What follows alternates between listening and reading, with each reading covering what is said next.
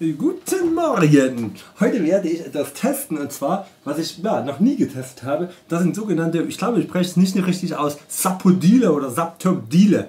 Ähm, ich habe einen Gutschein bekommen von dem, äh, von dem Tropenkost-Shop und da konnte ich mir mal so ein bisschen was bestellen. Und ja, auf jeden Fall werde ich die jetzt mal erstmalig probieren und auch, was ich erstmalig auch probieren werde, ist eine reife Ananas, eine richtig reife Ananas, also vollreif, wurde mir gesagt, und richtig reife, eine richtig reife Drachenfrucht. Also das und das schmeckt mir in Deutschland nicht. Mal sehen, ob das reif wirklich besser schmeckt. Bei der Papaya zum Beispiel war es nur bedingt so. Also eine richtig vollreife Papaya habe ich auch mal gegessen. Die schmeckt etwas besser als die, die man hier kauft, die widerlich schmeckt. Aber es schmeckt trotzdem nicht so, dass ich es mir kaufen würde.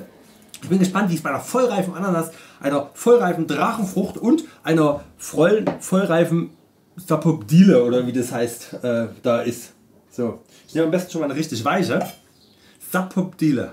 Noch nie gehört. Oder wir fangen mal mit dem an, was wir kennen. So, äh, Drachenfrucht. Drachenfrucht wird so aufgeschnitten und dann gelöffelt. Ich hole mal einen Löffel. Lässt sich zumindest schon sehr leicht schneiden. Das heißt, ähm, ja, ist wahrscheinlich. Äh, ist wahrscheinlich dann tatsächlich reif. Und ja, so, bin sehr gespannt. Reife Drachenfrucht. Ganz weiches Fleisch.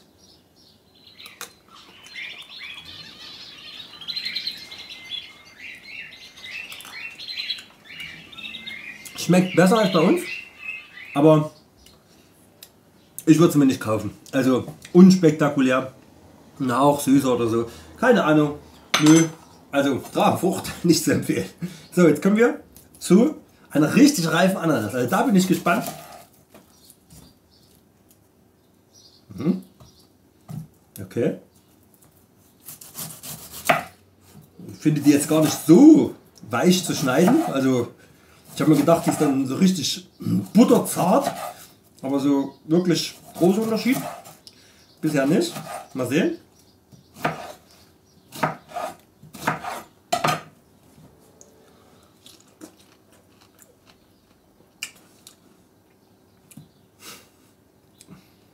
Also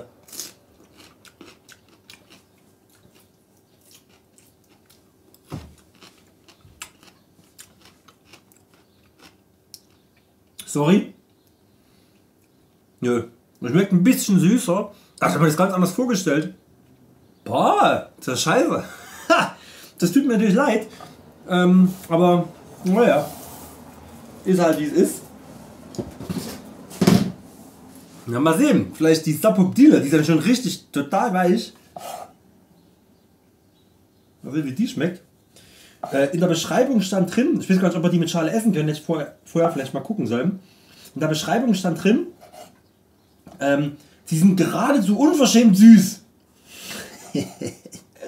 also, da hoffe ich aber jetzt, dass, äh, dass das ein bisschen rausreißt hier. Mm.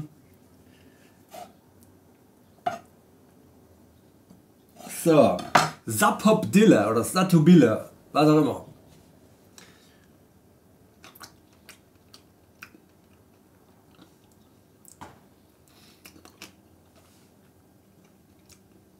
Tanne. Uh.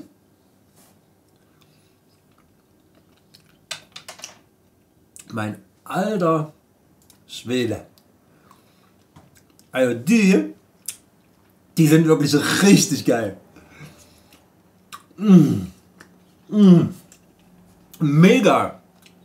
Mm. Und das war das billigste von allen. nee, krass. Also, Drachenfrucht, ja, okay. Ananas, ehrlich gesagt, finde ich die ein bisschen süßer vielleicht, aber das ist vielleicht die Einstellung, weil ich einen Tropenkost direkt aus Thailand bestellt habe.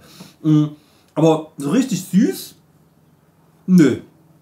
Also, besonders, ich habe extra, du konntest angeben vollreif oder reif. Vollreif auf eigene Gefahr, weil die dann vielleicht schon, schon angefangen hat zu schimmeln.